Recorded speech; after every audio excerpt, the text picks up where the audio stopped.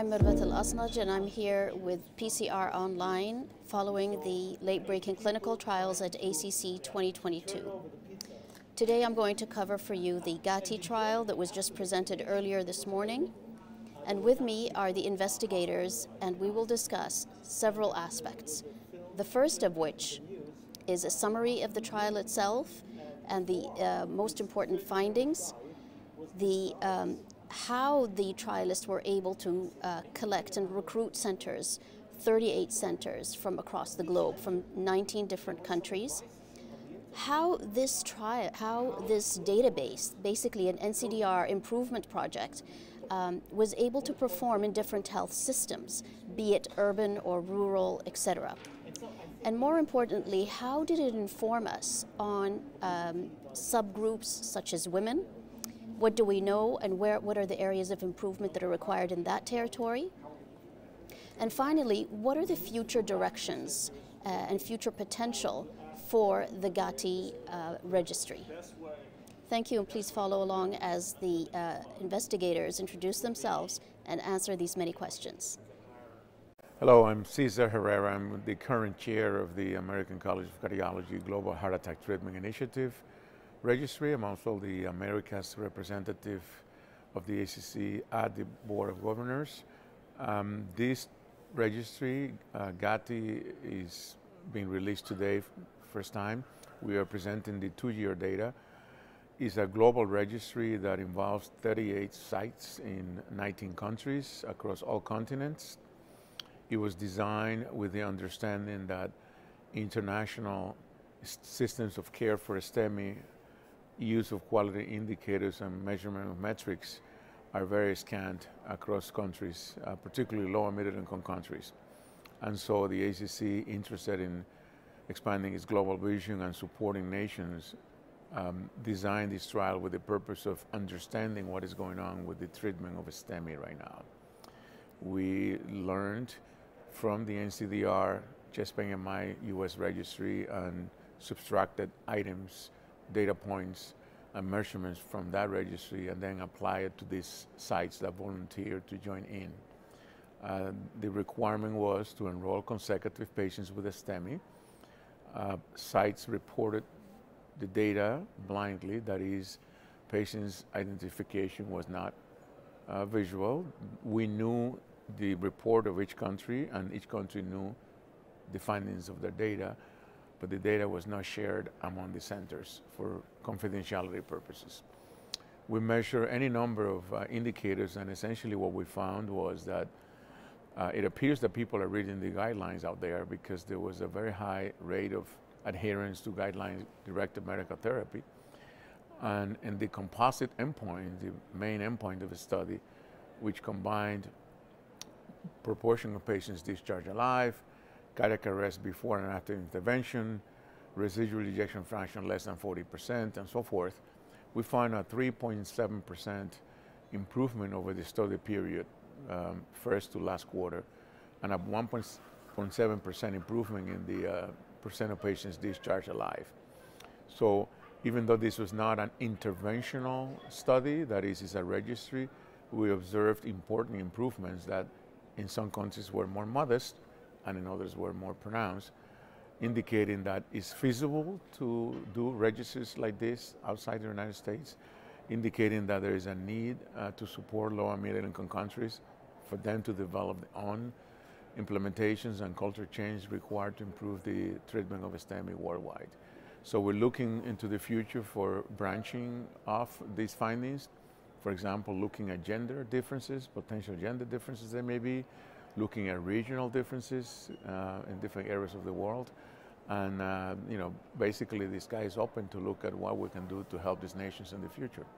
I'm Hadley Wilson. I'm uh, Vice President of the American College of Cardiology and uh, also a uh, member of the uh, GHATI work group under Dr. Herrera. And to understand how we were able to recruit is to really understand more about the ACC as a global organization. We have over 56,000 members in over 42 chapters or in those countries, 42 separate countries. And uh, through our network, um, as it was identified that we wanted to have more global projects to reduce uh, cardiovascular death and specifically make an impact in the over 3 million STEMIs per year or more worldwide that are estimated. Uh, we reached out to the so-called chapter governors or the leaders in these 42 countries or chapters. Uh, we made them aware of uh, this program and uh, asked for their recruitment of uh, hospitals and health centers that might benefit uh, from the GHATI project. This was entirely supported by the ACC in terms of funding and so for uh, interested parties that were uh, interviewed and uh, were made to see that they were able to uh, participate in the study when they were selected, um, we had uh, data coordinators that uh, introduced them to the data forms that would be collected, um, sometimes on laptop and otherwise and uh, those were then uh, sent in quarterly and collated and then sent back uh, to the respective uh, participants, the respective uh, hospitals and uh, centers that participated. It was all done with protection of public or patient health information and also the data was anonymized by the centers. So the center could see how they were doing on the metrics as were discussed, uh, but they were they could compare themselves to the larger group, but um, they did not know who were the other centers or what the other centers' data were. So this was not to be a competition except amongst uh, their own self for their own self-improvement.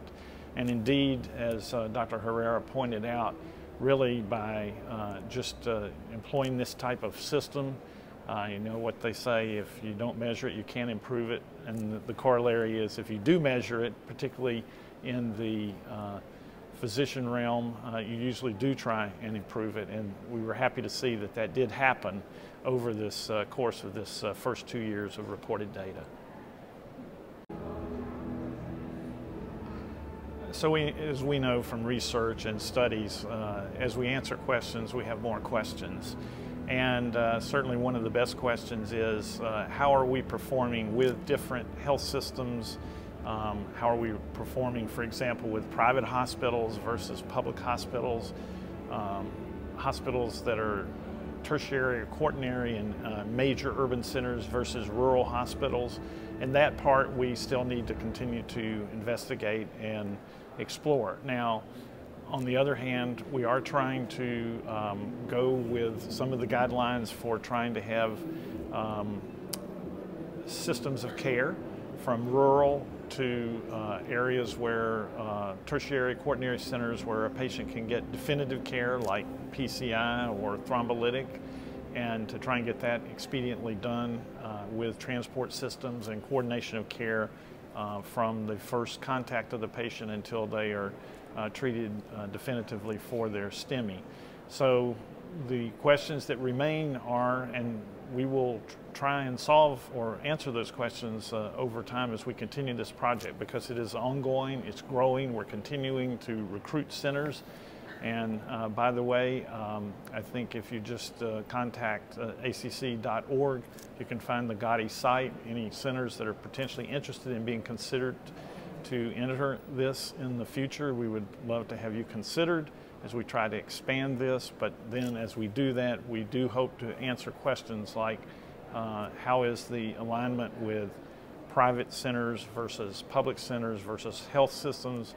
Uh, we do know that the data came uh, from about 78% were in low and middle income countries, um, and we will try and compare ultimately in an anonymized way um, how these different uh, centers perform and try and get more understanding of exactly what needs to be done to improve systems of care in uh, different areas of the world. Because as we know, if you have one system of care, that's one system of care, but it may not work in the next country over. Hello, my name is Benny Levenson. I'm an interventional cardiologist from Berlin, Germany. Um, I was the founding chair of the GHATI project and currently I'm the European representative of the Assembly of International Governors Steering Committee of ACC.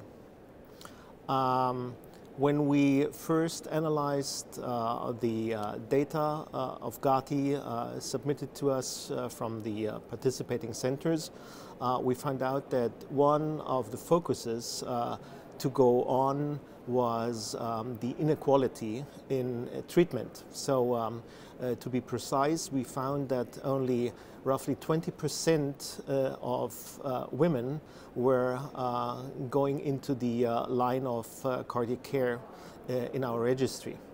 And this uh, seemed to be very representative uh, all over the regions uh, in the world taking part at GHATI.